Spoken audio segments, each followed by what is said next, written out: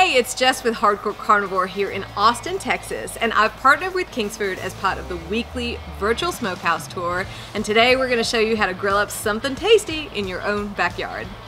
On the menu today, we have Tex-Mex tacos. I'm going to be using flank steak, but you could also use skirt steak or flap steak or bavette steak as well. Any of those work great.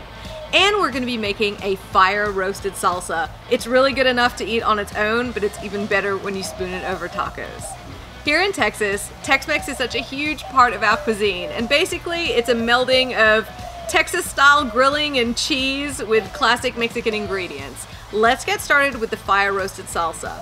We're gonna be using Roma tomatoes, jalapenos, you could use serranos if you want a little more fire or heat there, uh, a white onion, and a poblano pepper. Again, you can just use more jalapenos if you want. It's basically just a combo of the jalapenos and the tomatoes and the onion. Now the first step is to get them onto the grill and get them nice and charred up and softened. And once we have the color that we want, then we're gonna throw everything in a blender and blitz it with a little lime juice and salt to make our fire roasted salsa. Let's get started. Time to fire up the grill and I'm using the Masterbuilt 560 gravity fed smoker. I'm gonna fill it with Kingsford original briquettes and that way I get that great flavor from charcoal and this thing can get up to 700 degrees to sear.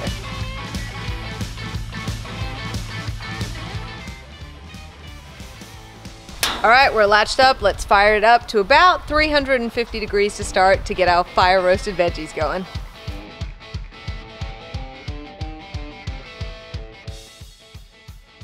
Once my veggies are at the color I want them to be, I'll go ahead and let them soften a little bit in there. So maybe it's gonna be 10 to 15 minutes all together.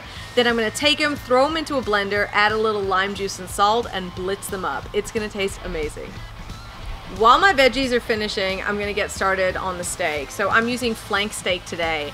Now for seasoning, I'm gonna be using Hardcore Carnivore Michelada, which is a chili lime. It's perfect for tacos. You could use any fajita style seasoning that you like. So with flank steak, you can see there's a really pronounced grain running the whole way through and it is a little bit tougher but there's a ton of flavor here. It doesn't matter because we're going to cut this into bite-sized pieces for our tacos so they're going to be pretty tender by the time we're done with them. I'm going to put my steak onto a board and then I'm going to season liberally with my seasoning here. If you wanted to make it yourself you could just use some chili powders, salt, cumin, garlic, onion, all those great flavors. But just make sure that your meat is well coated because seasoning loves meat and meat without seasoning just doesn't taste the same. I'm gonna let that sit for at least 15 minutes while my veggies are getting ready so that it can soak up all of that seasoning right before I throw it on the grill.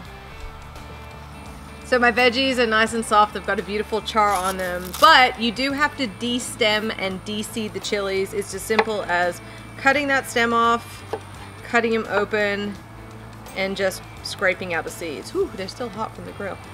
Um, if you like it spicier, you can leave the seeds in. Then what I'm going to go ahead and do is put everything in a blender. Woo, slippery. Everything goes into a blender and we're gonna blitz it all up. I've blitzed up all my ingredients and you can see I've got this gorgeous salsa here with little flecks of the fire roasting. Now that the salsa is done, it's time to cook the meat. I've just cranked the grill up to 600 degrees and the plan is I'm gonna put the meat on, I'm gonna sear it on both sides at that really high heat, and then I'm gonna turn the grill back down, and that's one of the advantages of this Masterbuilt. You can actually turn it up and down, which you can't do with traditional grills. But I'm gonna turn it back down to about 375 and let that flank steak finish cooking the whole way through until it's about 135 degrees internal temperature, which should give me perfect medium rare. So let's get these on and searing.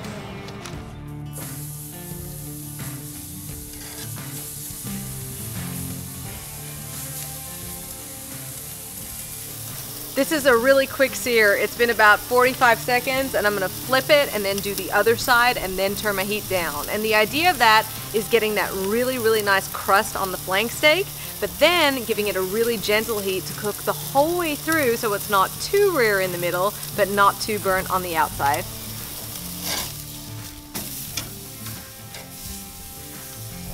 So now the flank steak is seared on both sides. I'm gonna turn it down to about 375 and let it finish cooking. I'm gonna go ahead and get some avocado ready for a topping. You can pretty much put in anything that you like. Cilantro, you can use sour cream, which is super Tex-Mex. The nice part about this is that all of these ingredients are super easy to source. You can actually get these and the grill at your local Walmart, but it's just really nice to do something so simple that has such a big flavor punch. While I'm waiting for my steak to be done, I just wanted to tell you a little tip on searing, especially when you're using charcoal. Now, some folks think that searing locks in the flavors and locks in the juices, and I'm sorry to tell you that's not exactly correct.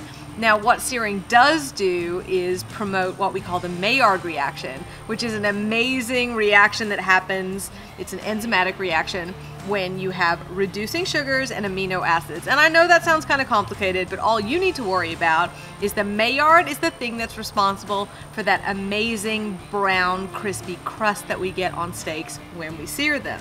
So that's what we're looking for when we sear hot at that 600 degrees. And then again, we're using that lower temperature, that 375, to make sure that steak is cooked exactly how we want internally while we still have that amazing Maillard on the outside.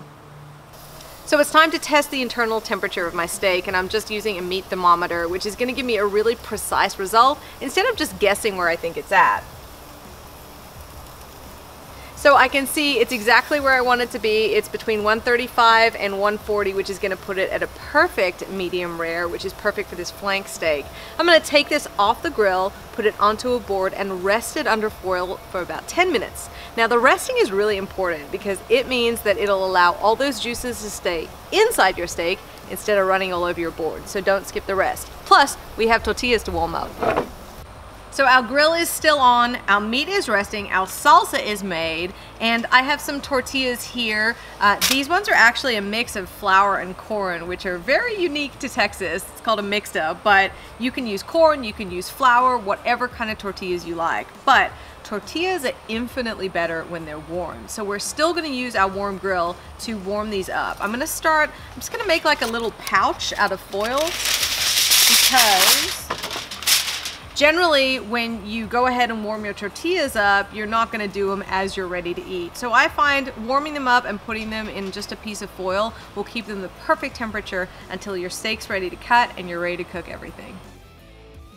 It's time to cut into our rested steak. Let's see how we did. I'm going straight down the middle to check.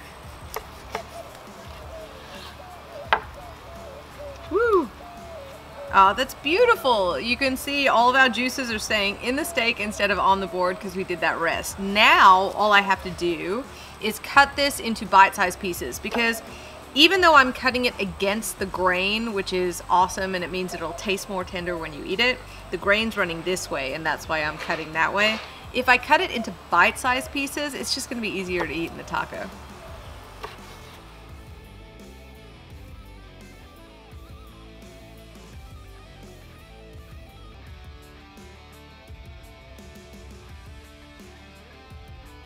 Now that all our elements are ready, it's time to assemble the tacos. I'm gonna take one of our warm tortillas and then just grab a handful of this gorgeous flank steak. See how it's nice and easy to eat in these bite-sized pieces? I'm gonna put in some avocado, and then of course, I have to spoon over that beautiful fire roasted salsa. But I did promise you that these were gonna be Tex-Mex tacos, and nothing says Tex-Mex quite like the addition of cheese. So to finish them off, a big sprinkling of cheese. And there you have it.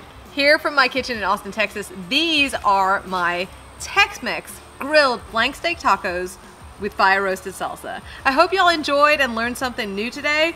I gotta go and eat this taco.